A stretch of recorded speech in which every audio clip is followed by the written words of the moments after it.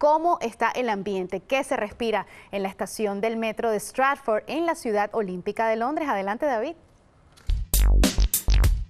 Esta es la Estación Internacional Stratford, la que podría denominarse también como la gran portal al Parque Olímpico y la parada obligada para muchos turistas internacionales.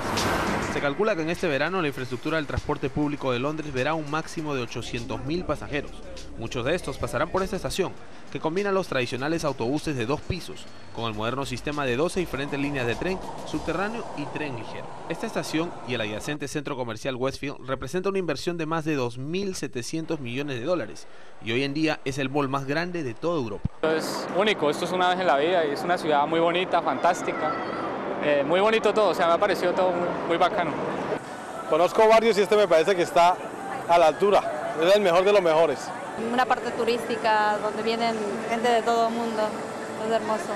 Con 70 restaurantes, 300 tiendas y hasta un casino, lo que lo convierte en toda una atracción para los centenares de miles de turistas que han llegado a los Juegos Olímpicos. En estos Juegos Olímpicos participarán más de 10.000 atletas de 205 países y este es un evento que podrá seguir, por supuesto, por aquí por su cadena Telemundo.